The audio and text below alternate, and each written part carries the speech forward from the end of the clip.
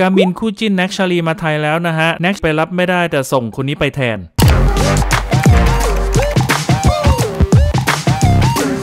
ขึ้นแท่นเป็นคู่จิ้นมาแรงที่มีแฟนๆติดตามไม่น้อยนะฮะสำหรับกามินสาวเกาหลีคู่จิ้นของพระเอกสุดติสที่หลายคนประทับใจในมิตรภาพดีๆของทั้งคู่ พร้อมทั้งลุ้นให้กามินมาไทยและได้เจอแน็กนะฮะล่าสุดครับ 10 กุมภาพันธ์กามินก็ได้เดินทางมาถึงไทยแล้วนะฮะโดยมีแฟนๆไปรอรับที่สนามบินกันเป็นจำนวนมาก ขณะที่กามินโพสต์ใน IG Story หลังมาไทยนะครับเป็นรูปช่อดอกไม้สุดน่ารัก พร้อมข้อความว่า my first Thailand is so warm ในขณะเดียวกันนะฮะก็มีหลายคนสงสัยว่าทำไมไม่เห็นภาพแน็กชาลีไปรอรับกามินนะครับ ซึ่งก่อนหน้านี้นะครับแน็กก็ได้ชี้แจงเรื่องนี้ผ่านไลฟ์นะครับว่าฝากทุกคนดูแลด้วย เพราะว่าตนเองติดงานนะครับไม่สามารถยกเลิกงานไปรับกามินได้ แต่ตอนแรกไม่รู้ว่าเขาจะมาวันไหน ส่วนตนเองก็รับงานไว้แล้ว แต่อย่างไรก็ดีนะครับถึงแม้ว่าจะไป